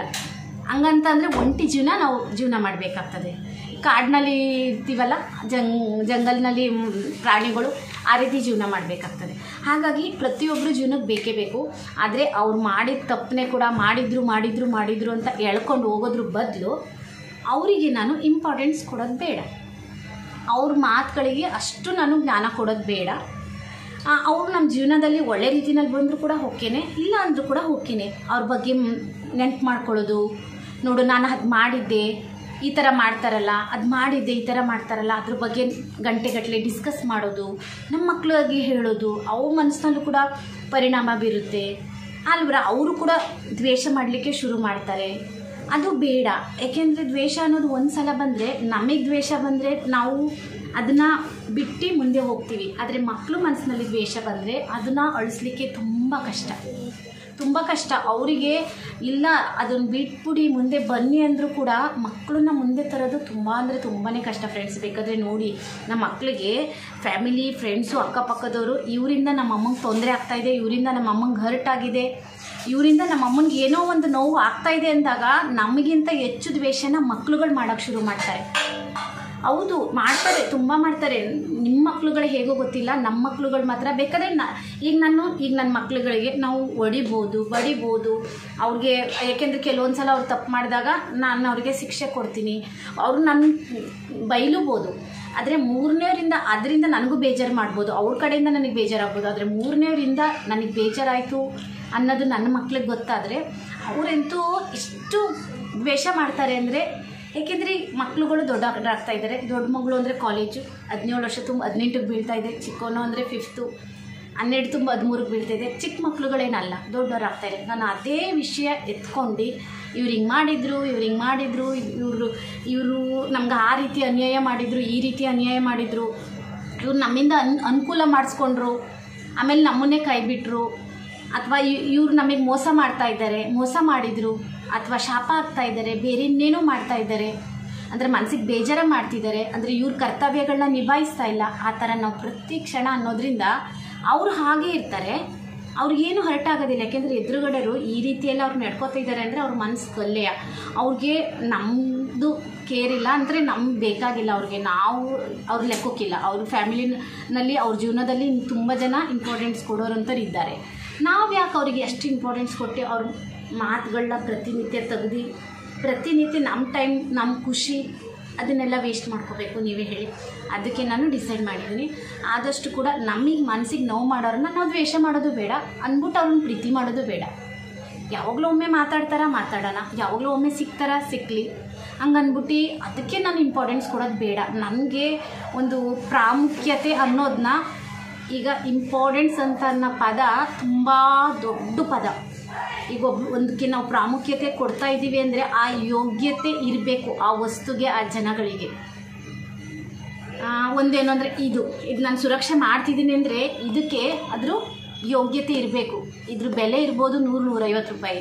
ಆದರೆ ಇದ್ರ ಒಳಗಡೆ ಇರೋವಂಥ ಸ್ಟೋರಿ ನಾನು ಬರೆದಿರೋಂಥ ಫೀಲಿಂಗ್ ಅಲ್ವರ, ಅದಕ್ಕೆ ನಾವು ಇಷ್ಟು ಕೊಟ್ಟರು ಕೂಡ ಸಿಗಲ್ಲ. ಹಾಗಾಗಿ ಇದೊಂದು ಅಂತಲ್ಲ. ಪ್ರತಿಯೊಂದು ಮನುಷ್ಯರಿಗೂ, ವ್ಯಕ್ತಿಗಳಿಗೂ, ಮತ್ತು ವಸ್ತುಗಳಿಗೂ ಕೂಡ ನಾನು ಅದಕ್ಕೆ ಇಂಪಾರ್ಟೆನ್ಸ್ ಕೊಡ್ತಿದ್ದೀನಿ ಅಂತ ಅಂದರೆ ಅವ್ರಿಗೆ ಆ ವ್ಯಾಲ್ಯೂ ಅನ್ನೋದು ಇರಬೇಕು. ಅವ್ರಿಗೆ ಮಾತ್ರ ಕೊಡೋಣ. ಎಲ್ಲನೂ ಕೂಡ ತಲೆ ಮೇಲೆ ಒತ್ಕೊಳ್ಳೋದು ಬೇಡ ಅಂತ ನಾನು ಫುಲ್ ನಿರ್ಧಾರ ಮಾಡಿದ್ದೀನಿ. ಮತ್ತು ಕೆಲವೊಬ್ಬರು ಫ್ರೆಂಡ್ಸ್ಗಳು ಕೂಡ ಸಿಕ್ಕಿದ್ರು. ಮತ್ತು ಕೆಲವೊಬ್ಬರು ಹೇಗೆ ಗೊತ್ತಾ? ನಾವು ಅವ್ರ ಜೊತೆ ಮಾತಾಡೋದೇ ಇಲ್ಲ. ನಾವು ಸಿಕ್ಕೋದೇ ವರ್ಷಕ್ಕೊಂದ್ಸಲ, ಎರಡು ವರ್ಷಕ್ಕೊಂದ್ಸಲ. ಆದ್ರೂ ಅವಾಗ ಅವ್ರು ಸಿಕ್ತು ಅಂತ ಅಂದಾಗ ನಾವು ಪೂರ ವರ್ಷದೆಲ್ಲ ಕಹಾನಿ ಅವ್ರ ಹತ್ರ ಹೇಳ್ಕೊತೀವಿ. ಆ ಹೇಳ್ಕೊಳ್ಳೋದ್ರಲ್ಲಿ ಏನೋ ಒಂಥರ ಖುಷಿ ಇರ್ತದೆ. ಅವ್ರು ಸಿಕ್ಕಿದಾಗ ನಮ್ಮ ಮುಖದಲ್ಲಿ ಇರೋವಂಥ ಸ್ಮೈಲ್ ಇರುತ್ತಲ್ಲ, ನಿಜವಾಗ್ಲೂ ಅದೆಷ್ಟು ಕೊಟ್ಟರು ಸಿಗಲ್ಲ. ಅವರು ಅಷ್ಟೇ ನಮ್ಮ ಹತ್ರ ಹೇಳ್ಕೊತಾರೆ. ಈ ರೀತಿನೂ ಕೂಡ ಕೆಲವೊಬ್ಬರು ಫ್ರೆಂಡ್ಸ್ಗಳಿದ್ದಾರೆ ನಾವು ನೋಡಿ ಈಗ ಮೊನ್ನೆ ಮೊನ್ನೆ ನಮ್ಮ ಮನೆ ಒಂದು ಪೂಜೆ ಇತ್ತು. ಪೂಜೆಗೆ ಬಂದಿದ್ದರು ಸುಮಾರು ಕೋವಿಡ್ಗಿಂತ ಮೊದಲು. ಆ್ಯಕ್ಚುಲಿ ಅವ್ರ ಮಗಳು ಫಿಫ್ತಲ್ಲಿ ಬೇರೆ ಸ್ಕೂಲಿಗೆ ಸೇರಿಕೊಂಡಿದ್ದು. ಅವಾಗಲಿಂದ ಏನು ಮಧ್ಯದಲ್ಲಿ ಒಂದು ಎರಡು ಸಲ ಮೀಟ್ ಆಗಿದ್ವಿನೋ ಅಷ್ಟೇ ಆಮೇಲೆ ಅವ್ರ ಮುಖ ನಾವು ನೋಡೇ ಇರಲಿಲ್ಲ ಫೋನ್ ಮಾಡಲ್ಲ. ಖಾಲಿ ಮಕ್ಳುಗಳು ಬರ್ತಡೇಗೆಲ್ಲ ವಿಶ್ ಮಾಡ್ತಾರೆ ಅಷ್ಟೇ. ಪೂಜೆಗೆ ಇನ್ವೈಟ್ ಮಾಡಿದ್ದೆ ಬಂದಿದ್ದರು ಈಗ ಅವ್ರು ತುಂಬ ದೂರ ಹೋಗಿದ್ದಾರೆ, ಆದರೂ ಕೂಡ ಬಂದಿದ್ದರು ಸಿಕ್ಕಿದಾಗ ಅದೇ ಪ್ರೀತಿ. ನಾನು ಏನು ಹತ್ತು ವರ್ಷದ ಹಿಂದೆ ಅವರಲ್ಲಿ ನನ್ನ ಪ್ರೀತಿ ಕಂಡಿದ್ನೋ ಅದೇ ಪ್ರೀತಿ, ಅದೇ ವಿಶ್ವಾಸ. ಆ ಒಂದು ಗಂಟೆನಲ್ಲಿ ಪೂರಾ ಹತ್ತು ವರ್ಷದ್ದು ಅರ್ದು ಅವರು ಇಲ್ಲಾಂದ್ರೆ ಹೋಗಿ ಎಷ್ಟು ವರ್ಷ ಆಯ್ತಪ್ಪ? ಏನಾದ್ರು ಹೋಗಿ ಫಿಫ್ತಲ್ಲಿ ಹೋಗಿದ್ದು. ಐದು, ಏಳು ವರ್ಷ. ಏಳು ವರ್ಷ ಆಯಿತು ಅವ್ರು ನಮ್ಮಿಂದ ಬೇರೆ ಕಡೆ ಹೋಗಿ ಸ್ಕೂಲ್ ಚೇಂಜ್ ಮಾಡಿ. ಆ ಏಳು ವರ್ಷದ ಕಹಾನಿಯಲ್ಲೂ ಆ ದಿನ ಹೇಳಿದ್ದಾರೆ ಒಂದೂವರೆ ಗಂಟೆ ಟೈಮ್ನಲ್ಲಿ ನಾನು ಹೇಳಿದ್ದೀನಿ ಅವ್ರ ಹತ್ರ ಹೇಳ್ಕೋಬೇಕಾದ್ರೆ ಒಂಚೂರು ಹಿಂದೆ ಮುಂದೆ ನನಗೆ ಯೋಚನೆ ಆಗಲಿಲ್ಲ. ಇವ್ರ ಹತ್ರ ಇದನ್ನು ಹೇಳ್ಕೊತಿದ್ದೀನಲ್ಲ, ಸರಿನಾ ಇದು? ಅಥವಾ ನಾನು ಪರ್ಸ್ನಲಿ ಹೇಳ್ಕೊತಿದ್ದೀನಲ್ಲ ನಾನು ಹಣಕಾಸಿನ ವಿಚಾರ ಹೇಳ್ಕೊತಾ ಇದ್ದೀನಲ್ಲ ನನಗೇನು ಅನ್ನಿಸ್ಲಿಲ್ಲ. ಇಲ್ಲ, ನನಗಳು ಸೋಲಿನ ಬಗ್ಗೆ, ಗೆಲುವಿನ ಬಗ್ಗೆ ಎಲ್ಲನೂ ಹೇಳ್ಕೊಂಡೆ. ಕೆಲವೊಂದು ಸಲ ಕೆಲವೊಬ್ಬರಿಗೆ ನಮ್ಮ ಮಕ್ಳುಗಳು ಸೋಲನ್ನ ಹೇಳ್ಕೊಳ್ಳಿಕ್ಕಾಗಲ್ಲ ಕಲಿ ಗೆಲುವನ್ನೇ ಹೇಳ್ಕೊಬೇಕು. ಯಾಕೆಂದರೆ ಅವ್ರ ಎದುರುಗಡೆ ಅಷ್ಟು ಗಮಂಡಿರ್ತಾರೆ ಹೇಳ್ಕೊಂಡ್ರೆ ಆಡ್ ಆಡ್ಕೊಳ್ಳೋಂಥ ಸ್ವಭಾವ ಇರ್ತಾರೆ. ಅಂಥರ ಹತ್ರ ನಾವು ಅದನ್ನು ಶೇರ್ ಮಾಡ್ಕೊಳಕ್ಕಾಗೋದಿಲ್ಲ. ಆದರೆ ಅವ್ರ ಹತ್ರ ನಾವೆಲ್ಲ ಶೇರ್ ಮಾಡ್ಕೊತೀವಿ. ಅಂಥರನ್ನ ಆದಷ್ಟು ಕೂಡ ಹತ್ರದಲ್ಲಿ ಇಟ್ಕೋಬೇಕು. ಅವ್ರು ಸಿಗದೆ ವರ್ಷಕ್ಕೊಂದ್ಸಲ ಆದರೂ ಕೂಡ, ವರ್ಷಕ್ಕೊಂದ್ಸಲನೂ ಅಲ್ಲ, ತುಂಬ ವರ್ಷಕ್ಕೊಂದ್ಸಲ ಆದರೂ ಕೂಡ ಆ ಪ್ರೀತಿ, ಆ ವಿಶ್ವಾಸ ಅನ್ನೋದು ಅವರಲ್ಲಿ ನಮಗೆ ಗೊತ್ತಾಗ್ತದೆ ಅಂದಾಗ ನಾವೆಷ್ಟು ಓಪನ್ ಆಗಿ ಮಾತಾಡ್ತೀವಿ. ಈಗ ಇನ್ನೊಬ್ಬರು ನನಗೆ ಹೊಸ ಫ್ರೆಂಡ್ ಸಿಕ್ಕಿದ್ದಾರೆ, ಅದು ಯೂಟ್ಯೂಬ್ ಕಡೆಯಿಂದಲೇ ಸಿಕ್ಕಿದ್ದು ನೀತು ಅವರಂತ. ನಾವು ಎರಡು ತಿಂಗಳಿಗೊಂದ್ಸಲ ಕೆಲವೊಂದ್ಸಲ, ಮೂರು ತಿಂಗಳಿಗೊಂದ್ಸಲ ಕೆಲವೊಂದ್ಸಲ ತಿಂಗಳಿಗೊಂದ್ಸಲ ಕೂಡ ಫೋನ್ ಮಾಡಿ ಮಾತಾಡ್ತೀವಿ. ಎಷ್ಟು ಒಳ್ಳೆ ಮನಸ್ಸು ಗೊತ್ತಾ? ಅಂದರೆ ಫೋನಲ್ಲಿ ಮಾತಾಡೋದು ರಿಯಲಾಗಿ ನಾನು ಒಂದೇ ಸಲ ಅವ್ರಿಗೆ ಸಿಕ್ಕಿತ್ತು ಆದ್ರೂ ಅವ್ರ ಜೊತೆ ತಿಂಗ್ಳಿಗೊಂದ್ಸಲ ನಾನು ಅವ್ರ ಜೊತೆ ಫೋನಲ್ಲಿ ಮಾತಾಡಿದ್ರು ಕೂಡ ಒಂದು ಒಂದೂವರೆ ಗಂಟೆ ಟೈಮ್ ನಾವು ಮಾತಾಡ್ತೀವಿ. ಎಲ್ಲ ಆ- ಒಂದು ತಿಂಗಳಲ್ಲಿ ನಡೆದಿರೋದೆಲ್ಲ ನಾನು ಹೇಳ್ಕೊತೀನಿ ಅವ್ರ ಜೊತೆ. ಅವರು ಕೂಡ ಅವ್ರ ಪರ್ಸ್ನಲ್ ವಿಷಯ ಹೇಳ್ಕೊತೀನಿ. ಒಂಥರ ಖುಷಿ ಆಗ್ತದೆ ಅವ್ರ ಜೊತೆ ಹೇಳ್ಕೊಬೇಕಾದ್ರೆ ಇವರು, ಇವರಿಗೆ ನನ್ನ ಹಣಕಾಸಿನ ವಿಚಾರ ಅಥವಾ ನನ್ನ ಗೆಲುವಿನ ಬಗ್ಗೆ ಹೇಳಿದರೆ ಅವ್ರು ಹೊಟ್ಟೆವರಿ ಪಡ್ಕೋತಾರೇನೋ ಅನ್ನೋಂಥ ನನ್ನಲ್ಲಿ ನನಗೆ ಏನೂ ಅನಿಸೋದಿಲ್ಲ. ಅವರಲ್ಲೂ ಕೂಡ ಅಷ್ಟೇ ಅವ್ರಿಗೆ ನನ್ನ ಅವ್ರ ಬಗ್ಗೆ ನನ್ನ ಹತ್ರ ಹೇಳ್ಕೊಬೇಕಾದ್ರೆ ಅವ್ರಿಗೂ ಕೂಡ ಅನಿಸೋದಿಲ್ಲ. ಇವ್ರಿಗೆ ಹೇಳ್ಕೊಳ್ಳೋದ್ರಿಂದ ಇವ್ರು ಜೆಲಸ್ ಮಾಡ್ತಾರೇನೋ ಅಂತ ಅನಿಸೋದಿಲ್ಲ. ಅಥವಾ ಅಂದರೆ ಹೊಟ್ಟೆವ್ರಿಗೆ ಪಡ್ಕೋಬೋದು, ನಗಾಡ್ಬೋದು, ಅಥವಾ ಇನ್ನೊಂದೇನೋ ಇವ್ರು ನನ್ನ ಬಗ್ಗೆ ಬೇರೆ ಥರನೇ ಅರ್ಥ ಮಾಡ್ಕೋಬೋದು. ಎಲ್ಲ ಹೇಳ್ಕೊತೀವಿ. ಏನೂ ಅನಿಸೋದಿಲ್ಲ. ಆ ರೀತಿ ಫ್ರೆಂಡ್ಸ್ಗಳನ್ನ ಆದಷ್ಟು ಕೂಡ ನೋಡಿ, ತಿಂಗಳಲ್ಲಿ ಒಂದು ಸಲ ನಾವು ಫೋನಲ್ಲಿ ಮಾತಾಡೋದು. ನಾವು ಸಿಕ್ಕೋದು ಇಲ್ಲ. ಎರಡೆರಡು ತಿಂಗಳು ಆಗ್ಬಿಡುತ್ತೆ. ಆದರೆ ಆ ತಿಂಗಳಲ್ಲಿ ಒಂದು ಸಲ ಎರಡು ಸಲ ಫೋನಲ್ಲಿ ಮಾತಾಡಿದ್ರು ಕೂಡ ಎಲ್ಲನೂ ಕೂಡ ಥರ ಮನಸ್ಸು ಅಗ್ರ ಆಗುತ್ತೆ. ಅಷ್ಟು ಅಂದರೆ ಆ ರೀತಿ ಫ್ರೆಂಡ್ಸ್ಗಳನ್ನ ನಾನು ಹೆಚ್ಚು ಇಟ್ಕೋಬೇಕು. ಆ ರೀತಿ ಫ್ರೆಂಡ್ಸ್ಗಳನ್ನ ಕಳ್ಕೋಬಾರ್ದು. ಆದಷ್ಟು ಕೂಡ ನಿಭಾಯಿಸ್ಕೊಂಡು ಹೋಗಬೇಕು. ಅನ್ನೋದು ನಾನು ಅಂದ್ಕೊಂಡಿದ್ದೀನಿ ಫ್ರೆಂಡ್ಸ್ ಕೆಲವೇ ಕೆಲವೊಬ್ಬರು ಫ್ರೆಂಡ್ಸ್ಗಳಿದ್ದಾರೆ ನಾನು ಹೆಚ್ಚು ಫ್ರೆಂಡ್ಸ್ಗಳು ಇಟ್ಕೊಂಡಿಲ್ಲ. ಯಾಕೆಂದರೆ ನಮ್ಮ ಜೀವನ ಎಷ್ಟು ಕೆಳದಿಂದ ಒಂದೊಂದೇ ಮೆಟ್ಲು ಮೇಲೆ ಬಂತು ಅಂದರೆ ನನಗೆ ಫ್ರೆಂಡ್ಸ್ ಇಟ್ಕೊಳ್ಳಿಕ್ಕೆ ಆಗಲೇ ಇಲ್ಲ. ಯಾರನ್ನೂ ಸಹ ಫ್ರೆಂಡ್ಶಿಪ್ ನಮ್ಮ ಯಜಮಾನ್ರಿಗೂ ಅಷ್ಟೇ, ನನಗೂ ಅಷ್ಟೇ ನಾವು ಫ್ರೆಂಡ್ಸ್ಗಳನ್ನೇ ಮಾಡ್ಕೊಂಡಿಲ್ಲ. ಆದರೂ ಕೂಡ ಇರೋವಂಥ ಕೆಲವೊಂದು ಒಳ್ಳೆ ಫ್ರೆಂಡ್ಸ್ಗಳನ್ನ ನಾನು ಬಿಡಬಾರ್ದು. ಅವ್ರನ್ನ ನಿಭಾಯಿಸ್ಕೊಂಡು ಹೋಗಬೇಕು ಅಂತಲೂ ಕೂಡ ನಾನು ಅಂದ್ಕೊಂಡಿದ್ದೀನಿ ಟೂ ತೌಸಂಡ್ ಟ್ವೆಂಟಿ ಫೋರ್ನಲ್ಲಿ ಮತ್ತು ಕೆಲವೊಂದು ಫ್ರೆಂಡ್ಸ್ಗಳು ಹೊಟ್ಟೆವರಿ ಮಾಡ್ತಾರಲ್ಲ. ಏಕೆಂದರೆ ನಮ್ಮ ಜೊತೆನೇ ಇರ್ತಾರೆ. ಅವರು ರಕ್ತ ಸಂಬಂಧಿಗಳಲ್ಲ. ಅಥವಾ ಅವ್ರನ್ನ ನಾನು ನೋಡೇ ಇಲ್ಲ. ಕೆಲವೊಂದು ವರ್ಷಗಳಿಂದ ಮಾತ್ರ ನನಗೆ ಪರಿಚಯ ಆಗಿರ್ತಾರೆ. ಆದರೆ ನಮ್ಮ ಪ್ರತಿಯೊಂದು ವಿಷಯಗಳನ್ನೂ ಕೇಳ್ಕೊಳ್ಳಿಕ್ಕೆ ಆತುರ ಪಡ್ತಾ ಇರ್ತಾರೆ. ಏನು ಏನು ಏನು ಅಂತ. ಕೇಳ್ಕೊಂಡಿದ್ದಾದಮೇಲೆ ಮತ್ತೆ ನಮಗೆ ಏನೋ ಒಂಥರದಲ್ಲಿ ನಮಗೆ ಹರ್ಟ್ ಆಗೋ ರೀತಿನಲ್ಲಿ ಮಾತಾಡೋದು. ಆ, ನೀನು, ನೀನೇನಪ್ಪ ಬಿಡು. ಅನ್ನೋ ರೀತಿನಲ್ಲಿ ಮಾತಾಡೋದು. ಮತ್ತು ಇನ್ನೊಂದು ಅಂದರೆ ನನ್ನ ಜೀವನದಲ್ಲಿ ಇನ್ನೊಂದು ನಾನು ಅಳವಡಿಸ್ಕೋಬೇಕು ಅಂದರೆ ಒಬ್ಬರು ಹೊಗಳ್ತಾ ಇದ್ದಾರೆ ಅಂತ ಅಂದರೆ ಅವ್ರ ಹೊಗಳಿಕೆಯಿಂದ ಅಟ್ಟದ ಮೇಲೆ ಇರೋದು. ಅಥವಾ ಅವರು ಅವಮಾನ ಮಾಡ್ತಿದ್ದಾರೆ ಅಂದರೆ ಅದರಿಂದ ಹತ್ಕೊಂಡು ಕುತ್ಕೊಂಡು ನಮ್ಮ ಯಜಮಾನ್ರಿಗೆ ಹರ್ಟ್ ಮಾಡ್ಕೊಂಡು ಇವ್ರು ಹಿಂಗೆ ಅಂದರು ರೀ, ಈ ಥರ ಆಗ್ತಿದೆ ಅಂತ ಸಪ್ಪು ಕುತ್ಕೊಳ್ಳೋದು ಬಿ ಪಿ ಕಮ್ಮಿ ಮಾಡ್ಕೊಳ್ಳೋದು. ಅಥವಾ ಅವ್ರು ಯಾರೋ ಏನೋ ಅಂತ ಅಂದಾಗ ಅದ್ರ ಟೆನ್ಷನ್ನ ನನ್ನ ಮಕ್ಕಳು ಮೇಲೆ ಹೇರಿ ಆಗ್ಬಿಡುತ್ತೆ ಆ ರೀತಿ. ಯಾರಾದರೂ ಏನಾದರೂ ಅಂದಾಗ ಆ ಟೆನ್ಷನಲ್ಲಿ ಮಕ್ಕಳುಗಳಿಗೆ ಬೈಯೋದು, ಕಿರ್ಚಾಡೋದು, ಅಥವಾ ಮನೆಯಲ್ಲಿ ಏನೋ ಒಂಥರ ತಲೆನೋ ಒರೆಸ್ಕೊಂಡು ಮಲ್ಕೊಳ್ಳೋದು, ಕೆಲಸ ಕಾರ್ಯ ಮಾಡ್ದಂಗೆ ಯಾರೋ ಒಬ್ರು ಈಗ ನೋಡಿ ನಮ್ಮನ್ನು ಸಾಕೋರು ನನ್ನ ಗಂಡ ನನ್ನ ಮಕ್ಳುಗಳು ಖುಷಿ ಕೊಡ್ತಾರೆ. ನಮ್ಮ ಕುಟುಂಬ, ಈಗ ನಾನು ಒಂದು ದಿವಸ ಹುಷಾರು ತಪ್ಪಿದ್ರು ಕೂಡ ಯಾರು ಕ್ಯಾರೆ ಅಂತ ಕೇಳೋರಿಲ್ಲ. ಅದೇನಿದ್ರು ಕೂಡ ನನ್ನ ಸಿಟ್ಟು ನನ್ನ ದುಃಖ ನನ್ನ ಸಂತೋಷ ಎಲ್ಲ ನನ್ನ ಗಂಟ ನನ್ನ ಮಕ್ಳ ಮೇಲೆ ನನಗೆ ಇರಬೇಕು ಹೊರ್ತು. ಮೂರನೇವ್ರು ಯಾರೋ ಏನೋ ಅಂದರು, ಅವ್ರು ನನಗೆ ಕಾಲ್ ಮಾಡಿ ಮಾತಾಡಲಿಲ್ಲ, ಅವ್ರು ನನಗೆ ಹರ್ಟ್ ಮಾಡಿದರು, ಅವ್ರು ಏನೋ ಇನ್ನೊಬ್ರ ಹತ್ರ ನನ್ನ ನಮ್ಮ ಬಗ್ಗೆ ನಮ್ಮ ಫ್ಯಾಮಿಲಿ ಬಗ್ಗೆ ನನ್ನ ಮಕ್ಳ ಬಗ್ಗೆ ಏನೋ ಮಾತಾಡೋರೆ ಅಂತ ಅಂದ್ಬಿಟ್ಟು ನಾನು ಅದಕ್ಕೆ ತಲೆನೋವು ಬರ್ಸ್ಕೋಬಾರ್ದು ಟೆನ್ಷನ್ ಮಾಡ್ಕೋಬಾರ್ದು ಅಂತಲೂ ಕೂಡ ನಾನು ಟ್ವೆಂಟಿ ಫೋರಿಂದ ಆ ರೀತಿ ಇರಬೇಕು ಅಂತಲೂ ಕೂಡ ನಾನು ಅಂದ್ಕೊಂಡಿದ್ದೀನಿ ಫ್ರೆಂಡ್ಸ್ ಈ ಇಷ್ಟೇ ಇಷ್ಟೇ ಇಲ್ಲ, ನಾನು ಏನೋ ಒಂದು ಸಾಧನೆ ಮಾಡಬೇಕು, ಇಲ್ಲ ಸಾವಿರಾರು ರೂಪಾಯಿ ದುಡಿಬೇಕು, ಇಲ್ಲ ಇನ್ನೇನೋ ಮಾಡಬೇಕು ಅನ್ನೋದೇನಿಲ್ಲ. ನಮ್ಮ ಆರೋಗ್ಯದ ಕಡೆ ಗಮನ ನಮ್ಮ ಮಕ್ಳ ಕಡೆ ಗಮನ. ಇಲ್ಲದೆ ಇರೋದಕ್ಕೆಲ್ಲ ತಲೆ ಕೆಡಿಸ್ಕೊಳ್ದಂಗೆ ಸಾಕು. ಭಗವಂತ ತಕ್ಕ ಮಟ್ಟಿಗೆ ನಮಗೆ ಮೂರೊತ್ತು ಅನ್ನ ಏನಾದರೂ ಎಮರ್ಜೆನ್ಸಿ ಬಂದರೆ ನಮಗೆ ನಾವು ಸೆಕ್ಯೂರ್ ಮಾಡ್ಕೊಳ್ಳೋ ರೀತಿ, ನಮಗೆ ನಮ್ಮ ಆರೋಗ್ಯಕ್ಕೆ ನಾವು ಮಾಡ್ಕೊಳ್ಳೋ ರೀತಿನಲ್ಲಿ ಕೊಟ್ಟಿದ್ರೆ ನಮಗೆ ಅಷ್ಟು ಸಾಕು. ಅದನ್ನು ನೋಡ್ಕೊಂಡು ಮಕ್ಳಿಗೆ ಒಳ್ಳೆ ವಿದ್ಯಾಭ್ಯಾಸ ಕೊಟ್ಕೊಂಡು ಮನೆಯಲ್ಲಿ ನೆಮ್ಮದಿ. ಏಕೆಂದರೆ ನಾವು ಪೇರೆಂಟ್ಸ್ಗಳು, ಅದರಲ್ಲೂ ಕೂಡ ಅಮ್ಮಂದಿರು ಖುಷಿ ಖುಷಿಯಾಗಿದ್ದರೆ ಟೈಮ್ ಕರೆಕ್ಟ್ಗೆ ಅಡುಗೆ, ಊಟ, ತಿಂಡಿ, ಪೂಜೆ, ಪುರಸ್ಕಾರ ಎಲ್ಲ ಮಾಡಿದರೆ ಮನೆಯೂ ಕೂಡ ಮನೆಯಲ್ಲಿ ಯಜಮಾನ್ರು ಇರ್ಬೋದು ಅಥವಾ ಮಕ್ಳುಗಳು ಕೂಡ ಖುಷಿ ಖುಷಿಯಾಗಿರ್ತಾರೆ. ಏಕೆಂದರೆ ಈಗ ಮಕ್ಕಳು ಸ್ಕೂಲಿಂದ ಬಂದಾಗ ಇನ್ನೂ ನಂದು ಅಡುಗೆನೇ ಆಗಿರೋದಿಲ್ಲ. ಊಟ ಕೊಡೋದು ಲೇಟ್ ಮಾಡ್ತೀವಿ ಅಥವಾ ಮಕ್ಳುಗಳು ರಿಲ್ಯಾಕ್ಸ್ ಮಾಡೋದು ಲೇಟ್ ಆಗುತ್ತೆ. ನಾವು ಇನ್ನೊಂದು ಓದೋದು ಕೂತ್ಕೊಳ್ಳಿಕ್ಕೆ ಲೇಟ್ ಆಗುತ್ತೆ. ಎಲ್ಲ ಹೋಗುತ್ತೆ. ಇದು ಮೇನ್ ಕಾರಣನೇ ಅಮ್ಮಂದಿರಿರ್ತಾರೆ ಅಥವಾ ನಾವು ಅಷ್ಟೇ ಯಜಮಾನ್ರುಗಳು ಬರ್ತಾರೆ, ಅವಾಗ ನಾವು ಒಂದು ಹೆಸರಿಗೆ ಏನೋ ಅಡುಗೆ ಮಾಡೋಕೆ ಹೋಗ್ತೀವಿ ಅವ್ರ ಹತ್ರ ಹತ್ತು ನಿಮಿಷ ಮಾತಾಡೋದಿಲ್ಲ, ಅಥವಾ ಅವ್ರಿಗೆ ತಿಂಡಿ ಟೈಮಲ್ಲಿ ಸರಿಯಾಗಿ ತಿಂಡಿ ಕೊಡೋದಿಲ್ಲ, ಅವ್ರ ಆಫೀಸಿಗೆ ಲೇಟಾಗಿ ಹೋಗ್ತಾರೆ. ಅವಾಗ ಆಫೀಸಿಗೆ ಅವರು ಡ್ಯೂಟಿಗೆ ಲೇಟಾಗಿ ಅವ್ರ ಬಿಸ್ನೆಸ್ಸಿಗೆ ಲೇಟಾಗಿ ಹೋದರೆ ಅಲ್ಲಿದಲ್ಲೇ ಲುಕ್ಸನ್ ಆಗ್ತದೆ. ಏಕೆಂದರೆ ಈಗ ಹೌಸ್ ಮೇಕರ್ ಅಂತಂದರೆ ಏನು ಅನ್ಕೋಬೋದು? ಏನು ಬೆಳಗ್ಗೆ ಹೇಳೋದು, ಪಾತ್ರೆ ತಿಕ್ಕೋದು, ಬಟ್ಟೆ ಒಗೆಯೋದು, ಮನೆ ಸಿಟ್ಟೋದು ಇದೆಯಪ್ಪ ಕೆಲಸ. ಅದೇನು ಎಲ್ಲರೂ ಮಾಡ್ತಾರೆ. ಅದಲ್ಲ. ಎಲ್ಲರೂ ಮಾಡ್ತಾರೆ ಅವ್ರನ್ನೂ ಕೂಡ ನಾವು ನೋಡಬೇಕು. ಎಲ್ಲ ಮಾಡ್ಕೊಂಡು ಸಂಪಾದನೆ ಮಾಡೋರು ಮಕ್ಕಳುಗಳು ಅವರು ಹೇಗಿದ್ದಾರೆ, ಎಷ್ಟು ಆರೋಗ್ಯವಾಗಿದ್ದಾರೆ, ಎಷ್ಟು ನೆಮ್ಮದಿಯಾಗಿದ್ದಾರೆ, ಎಷ್ಟು ಸಂಪಾದನೆ ಮಾಡ್ತಿದ್ದಾರೆ. ನಾವು ಏನೂ ಮಾಡ್ದಲೆ ನಾವೆಷ್ಟು ಆರೋಗ್ಯವಾಗಿದ್ದೀವಿ ನಮ್ಮ ನಮ್ಮ ಖುಷಿಯಾಗಿ ಎಷ್ಟಿದ್ದೀವಿ ಅನ್ನೋದನ್ನು ಕೂಡ ನಾವು ಯೋಚನೆ ಮಾಡ್ಕೋಬೇಕು. ಬೇರೆ ವಿಷಯಕ್ಕೆಲ್ಲ ತಲೆ ಕೊಡಿಸ್ಕೊಂಡು ಹೋಗ್ಬಾರ್ದು. ಇದೆಲ್ಲನೂ ಕೂಡ ನಾನು ನಿಜ, ನಿಜವಾಗ್ಲೂ ಗಾಡ್ ಪ್ರಾಮಿಸ್ ಗಣಪತಿ ಬಪ್ಪನ ಮೇಲೆ ನನ್ನ ಮೇಲೆ ನಾವೇನೇ ನಾನೇ ಆಣೆ ಮಾಡ್ಕೊಂಡು ಇದನ್ನು ಫಾಲೋ ಮಾಡಬೇಕು ಅಂತ ಅಂದ್ಕೊಂಡಿದ್ದೀನಿ ಖಾಲಿ ಟ್ವೆಂಟಿ ಫೋರ್ನಲ್ಲಿ ಮಾತ್ರ ಅಲ್ಲ ಇನ್ನು ಮುಂದೆ ಆದಷ್ಟು ಕೂಡ ಸಡನ್ನಾಗಿ ಬದಲಾಗ್ಲಿಕ್ಕೆ ಆಗೋದಿಲ್ಲ. ಯಾಕೆಂದರೆ ನಾವು ಕೂಡ ಮನುಷ್ಯರೇ, ಕೋಪ, ದ್ವೇಷ ಇನ್ನೊಬ್ಬರ ಮೇಲೆ ನಮಗೂ ಹೊಟ್ಟೆ ಉರಿ, ಎಲ್ಲ ಪ್ರತಿಯೊಂದು ನಮ್ಮಲ್ಲಿ ಇರ್ತದೆ. ಆದಷ್ಟು ಕೂಡ ಕಮ್ಮಿ ಕಮ್ಮಿ ಕಮ್ಮಿ ಮಾಡ್ಕೊಂಡು ಹೋಗಬೇಕು. ಮತ್ತು ಇದೆಲ್ಲ ಮಾಡ್ಕೊಂಡು ಇಷ್ಟು ಜನಗಳ ಜೊತೆ ಬೆರೀಲಿಲ್ಲ ಅಂದರೆ ಮತ್ತು ನಮ್ಮ ಕಾಲ ಕಳೆಯೋದು ಹೇಗೆ? ಎನಿ ಟೈಮ್ ಅದಕ್ಕೋಸ್ಕರ ನಾನು ಒಂದೆರಡು ಬುಕ್ಸ್ಗಳನ್ನ ಆರ್ಡ್ರ್ ಮಾಡಿದ್ದೀನಿ. ಆ ಬುಕ್ಸ್ಗಳನ್ನ ಓದೋಣ ಅಂತ ಆದಷ್ಟು ಕೂಡ ದಿನದಲ್ಲಿ ಬುಕ್ಸ್ ಓದೋಂಥ ಅಭ್ಯಾಸಗಳನ್ನ ಇಟ್ಕೊಳ್ಳೋಣ, ಒಳ್ಳೊಳ್ಳೆ ಬುಕ್ಸ್ಗಳನ್ನ ಒಳ್ಳೊಳ್ಳೆ ಶ್ಲೋಕಗಳನ್ನ ಕಲಿಯೋಣ. ಒಳ್ಳೊಳ್ಳೆ ವಿಚಾರಗಳನ್ನ ತಿಳ್ಕೊಳ್ಳೋಣ. ಅನ್ನೋದ್ರ ಬಗ್ಗೆ ನಾನು ಹೆಚ್ಚು ಗಮನ ಕೊಡೋಣ ಅಂತ ಅಂದ್ಕೊಂಡಿದ್ದೀನಿ ಆ ಬುಕ್ಸ್ ಓದಿ ಮುಗಿದ್ಮೇಲೆ ಮತ್ತಿನ್ನೊಂದು ಬೇರೆ ಬುಕ್ಸ್ಗಳನ್ನು ಕೂಡ ಆರ್ಡರ್ ಮಾಡೋಣ. ಈ ರೀತಿ ಇರಲಿ. ಮಧ್ಯ ಮಧ್ಯದಲ್ಲಿ ಒಂದು ವೀಡಿಯೋನು ಕೂಡ ಹಾಕೋಣ. ನೀವು ಇಷ್ಟಪಡೋವಂಥ ವೀಡಿಯೋ ಇಷ್ಟನ್ನು ನಾನು ಅಂದ್ಕೊಂಡಿದ್ದೀನಿ ನೀವೆಲ್ಲ ಏನು ಅನ್ಕೋತಾ ಇದ್ದೀರಿ? ನಿಮ್ಮ ಜೀವನದಲ್ಲಿ ನೀವು ಹೋದ ವರ್ಷ ಅಂದ್ಕೊಂಡಿದ್ದೆಲ್ಲ ಆಗಿದೆಯಾ? ಅಥವಾ ಮುಂದಿನ ವರ್ಷಕ್ಕೆ ಏನೇನು ಮಾಡಬೇಕು ಅಂತ ನೀವು ಅನ್ಕೋತಾ ಇದ್ದೀರಿ, ಏನೇನು ಲೈಫ್ನಲ್ಲಿ ಚೇಂಜಸ್ ಮಾಡಬೇಕು ಅಂತ ಅನ್ಕೋತಾ ಇದ್ದೀರಿ ಅನ್ನೋದನ್ನ ನನಗೆ ಕಮೆಂಟ್ ಮುಖಾಂತರ ಕಮೆಂಟ್ ಮಾಡಿ ತಿಳಿಸಿ. ನಾನು ಆದಷ್ಟು ಕೂಡ ಪ್ರಯತ್ನ ಪಡ್ತೀನಿ. ಕಷ್ಟ ಏನು ಅನ್ಸೋದಿಲ್ಲ ಆಲ್ಮೋಸ್ಟ್ ನಾನು ಈಗ ಅಂದ್ಕೊಂಡಿದ್ದಂಗೆ ಫಿಫ್ಟಿ ಇರುವಂಥದ್ದು ಇನ್ನೊಂದು ಫಿಫ್ಟಿ ಬದಲು ಮಾಡ್ಕೋಬೇಕಷ್ಟೇ ಇಷ್ಟಿತ್ತು ಫ್ರೆಂಡ್ಸ್ ವಿಡಿಯೋ ಇದನ್ನು ನಾನು ಹಂಚ್ಕೋಬೇಕು ಅಂತ ಅನ್ನಿಸ್ತು. ಯಾಕೆಂದರೆ ನಾನು ಡೈರಿನ ಸ್ಟಾರ್ಟಿಂಗಿಂದ ಓದಿದೆ. ಅವಾಗ ಹಂಗೆ ಅನ್ನಿಸ್ತು, ಅಯ್ಯೋ, ನಾನು ಏನೇನೆಲ್ಲ ಮಾಡಬೇಕು ಅಂದ್ಕೊಂಡಿದ್ದೆ ಆಗಲೇ ಇಲ್ವಲ್ಲ? ಆದರೂ ಸ್ವಲ್ಪ ಆಗಿದೆ. ಮತ್ತು ಇನ್ನು ಮಧ್ಯ ಮಧ್ಯದಲ್ಲಿ ಕೆಲವೊಬ್ಬರು ನೋವು ಮಾಡಿದ್ದು ಕೆಲವೊಬ್ಬರು ಖುಷಿ ಕೊಟ್ಟಿದ್ದು, ಅದೆಲ್ಲ ಇತ್ತು ಈ ಡೈರಿನಲ್ಲಿ ನೋಡಿದಾಗ ಅನ್ನಿಸ್ತು, ಇಷ್ಟೊಂದು ನೋವು ಮಾಡ್ತಾ ಇದ್ದಾರೆ ಆದರೂ ಯಾಕೆ ನಾನು ನಾನು ಅವ್ರನ್ನ ಬಯಸ್ತಾ ಇದ್ದೀನಿ? ಅವ್ರು ಮಾತಾಡಿಸ್ತಾ ಇಲ್ಲ, ಅವ್ರು ಫೋನ್ ಮಾಡ್ತಾ ಇಲ್ಲ. ಅವ್ರು ನಮ್ಮ ಬಗ್ಗೆ ಏನು, ಎಂತ ಅಂತ ಕೇಳಿಸ್ತಾ ಇಲ್ಲ ಅಂತ. ಯಾಕೆಂದ್ರೆ ಹತ್ತು ವರ್ಷದಿಂದ ಅವ್ರು ಕೇಳ್ತಾ ಇಲ್ಲ, ಅವ್ರು ಹೊರಟೆ ಮಾಡ್ತಾ ಇದ್ದಾರೆ. ಅವ್ರು ನಮ್ಗೆ ಬೇಜಾರನ್ನೇ ಮಾಡ್ತಾ ಇದ್ದಾರೆ.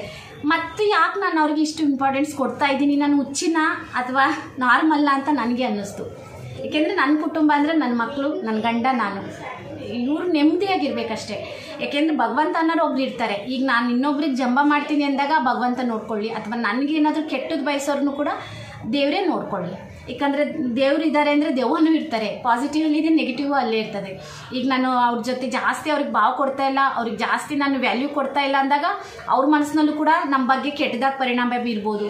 ಯಾಕೆಂದರೆ ಜಾಸ್ತಿ ಹಾಗೇ ಆಗ ಅಂದ್ಕೊಂಡಾಗ ಭಗವಂತ ನೋಡ್ಕೊಳ್ಳಿ. ನಾನು ಅನ್ನೋದು ಅಷ್ಟೇ ಎಲ್ಲನೂ ಕೂಡ ನಮ್ಮ ಮನೆ ದೇವರು, ವೆಂಕಟೇಶ್ವರ ಸ್ವಾಮಿ, ರಂಗನಾಥ ಸ್ವಾಮಿ. ಅವರೇ ರಂಗನಾಥರಿಗೇ ಅವ್ರ ಹೆಸರಿರುವಂಥದ್ದು ವಿಷ್ಣು ಅವರೇ ನೋಡ್ಕೊಳ್ಳಿ. ನಾನು ಪ್ರತಿ ಕ್ಷಣನೂ ಕೂಡ ರಾಮನ ಜಪ ಮಾಡ್ಕೊಂಡು ವಿಷ್ಣು ಅವ್ರ ಮೇಲೇ ಬಿಟ್ಬಿಡೋಣ ರಾಮನ ಮೇಲೇ ಬಿಟ್ಬಿಡೋಣ ಅಂತ ಅಂದ್ಕೊಂಡು ಅಂದ್ಕೊಂಡಿದ್ದೀನಿ ಫ್ರೆಂಡ್ಸ್ ಇಷ್ಟೇ ವಿಡಿಯೋ ವಿಡಿಯೋ ತುಂಬ ಲಾಸ್ ಲಾಗ್ ಆಗ್ಬೋದು. ನೋಡಿ ಇಷ್ಟ ಆದರೆ ನೋಡಿ. ಸರಿ ಫ್ರೆಂಡ್ಸ್ ಅದು ದೇವರಿಗೆ ಎಲ್ಲರಿಗೆ ಬಿರಬಾರ್ದು ಅಂದ್ರೆ ಅಂದ್ರೆ? ಕೆಲವೊಂದು ನಾವು ಮಾಡ್ಕೋಬೇಕು. ನಾನು ಮಾಡ್ಕೋತೀನಿ ಆದ್ರೆ ನಮ್ಮ ಬಗ್ಗೆ. ರಿಲೇಶನ್ಶಿಪ್ ಎಷ್ಟು ದೂರ ಇದ್ರೆ ಅಷ್ಟು ಚೆನ್ನಾಗಿರ್ತದೆ. ಅದೌದು. ಮತ್ತೆ ದೂರದಲ್ಲಿ ಇತ್ಕೊಂಡು ಕೂಡ ನಮಗೆ ಕೆಟ್ಟದ್ದು ಬಯಸ್ತಾ ಇದ್ರೆ ಅವ್ರನ್ನೇನು ಮಾಡೋಣ ದೂರದಲ್ಲಿ ಇದ್ರೂ ಕೂಡ ಕೆಟ್ಟದ್ದು ನಮಗೆ ಕೆಟ್ಟದ್ದು ನಾವು ಅವ್ರಿಗೆ ಏನು ಮಾಡ್ತಾ ಇಲ್ಲ ಅವ್ರ ಸವಾಸಕ್ಕೆ ನಾವು ಹೋಗ್ತಿಲ್ಲ ನಮ್ಮಷ್ಟಕ್ಕೆ ನಾವು ಜೀವನ ಮಾಡ್ತೀವಿ ಅಂತ ಅಂದ್ರೂ ಕೂಡ ನಮಗೆ ಕೆಟ್ಟದ್ದು ಬಯಸೋದು ನಮ್ಮ ಏಳಿಗೆಗೆ ನಂಬರ್ ಡಿಲೀಟ್ ಮಾಡ್ಬಿಡಿ. ನಮ್ಮ ಹೇಳಿಕೆಗೆ ಜಲಸ್ ಮಾಡೋದು. ಹಾ ಇವ್ರು ಹಿಂಗ್ ಆದ್ಲಲ್ಲ ಹಿಂಗ್ ಆದ್ಲಲ್ಲ ಯಾರ್ದು ಅವ್ರು ಹೆಲ್ಪ್ ಬರ್ತಾರೆ ಕಿ ನೀವು ಯಾಕೆ ನನ್ನ ನಂಬರ್ ಡಿಲೀಟ್ ಮಾಡಿದ್ರಿ ಯಾಕೆ ಮಾತಾಡ್ತಾ ಇಲ್ಲ ಕಾಲ್ ಮಾಡ್ತಾ ಇಲ್ಲ? ಅಲ್ವಾ? ಅವ್ರ ಜೊತೆನ ಹಾಕಿರ್ತದೆ ನಮ್ಮ ಮೇಲೆ. ನಮ್ಮ ಮೇಲೆ ಯಾವುದೇ ರೀತಿ ಅವ್ರಿಗೆ ಹಕ್ಕಿಲ್ಲ. ನನಗೂ ಕೂಡ ಅವ್ರ ಹಕ್ಕಿಲ್ಲ. ಆದರೂ ಕೂಡ ಅಂದ್ರೆ ಅದು ನಮ್ಮ ಒಳ್ಳೆತನ. ಅವ್ರಿಗೆ ನಾನು ಈಗಲೂ ಕೂಡ ಅವ್ರ ನಂಬರ್ ಇಟ್ಕೊಂಡಿದ್ದೀನಿ. ಏನು ಹೇಳು? ಯಾಕೆಂದರೆ ಕೆಲ್ ಈಗ ಇನ್ನೊಬ್ರು ಕೆಟ್ಟದ್ದು ಮಾಡ್ತಾ ಇದ್ದಾರೆ ಅಂತ ನಾವು ಕೆಟ್ಟದ್ದು ಮಾಡಿದ್ರೆ ಅವ್ರಿಗೂ ನಮಗೂ ವ್ಯತ್ಯಾಸ ಇರೋದಿಲ್ಲ. ಆದಷ್ಟು ಕೂಡ ನಾವು ಅವ್ರ ಸಮಸ್ಯೆಗೆ ಹೋಗೋದು ಬೇಡ. ಅವ್ರಿಗೆ ಒಳ್ಳೇದನ್ನೂ ಬಯಸೋದು ಬೇಡ ಕೆಟ್ಟದ್ದು ಬಯಸೋದು ಬೇಡ. ಅವ್ರ ನೆನಪುಗಳೇ ಬೇಡ ಅಲ್ವಾ? ನಮ್ಮಷ್ಟಕ್ಕೆ ನಾವು ಇದ್ಬಿಡೋಣ. ಈಗ ನಾನು ಇಮೋಷನಲ್ ಮತ್ತು ಸೋಷಿಯಲ್ ಇಂಟೆಲಿಜೆನ್ಸ್ ಕಲಿತಿದ್ದೀನಿ ಅಂದರೆ ಹೆಂಗಿಲ್ಲನ ಈಗ ಒಂದು ಹುಡುಗಿಗೆ ಇದ್ರಲ್ಲಿ ಬಸ್ ಸಿಕ್ ಬಸ್ಸಲ್ಲಿ ಇದು ಸಿಕ್ತು. ಏನು ಸಿಕ್ತು? ಪರ್ಸ್ ಬಿದ್ದಿರೋ ಸಿಕ್ತು. ಮತ್ತು ಅವ್ಳು ಏನು ಮಾಡ್ತಾಳೆ? ಕಂದರ ಕಂಡಕ್ಟರ್ ಕೊಡ್ತಲ್ಲ? ಖುದ್ದು ದುಡ್ಡು ಇಟ್ಕೋತಲ್ಲ? ಅಥವಾ ಪರ್ಸ್ ಅಲ್ಲೇ ಬಿಸಾಕ್ಬಿಡ್ತಾರ? ಬಿಡ್ತಾರ ಅಥವಾ ಪರ್ಸ್ ಒಳಗಡೆ ದುಡ್ಡು ಇತ್ತಿ ಅಲ್ಲೇ ಇಟ್ ಬಿಡ್ತಾರೆ ಏನ್ ಮಾಡ್ತಾರೆ ಅವಳು? ನೀವೇ ಹೇಳಿ. ಕಂಡಕ್ಟರಿಗೆ ಕೊಡ್ತಾರೆ ಹಾ ಗುಡ್ ಅಲ್ವಾ ಅದು. ಅವನು ಸ್ಕಾಲರ್ಶಿಪ್ನಲ್ಲಿ ಕೂತಿದ್ದಾನೆ ಹಾಂ ಅದ್ರ ಬಗ್ಗೆ ಐ ಟಿ ಓದ್ತಾ ಇದ್ದಾನಲ್ಲ? ಐ ಟಿನ ಯಾವ ಸಬ್ಜೆಕ್ಟಿಂದ ಅದು? ಇದು ಐ ಟಿ ಹಾಂ ಐ ಟಿ ಓದ್ತಿದ್ದಾನಲ್ಲ ಅದನ್ನೇ ಒಂದು ಸ್ಟೋರಿ ಹೇಳ್ತಿದ್ದಾನೆ ಫ್ರೆಂಡ್ಸ್ ಆಗಲಿ ನಮಸ್ತೆ.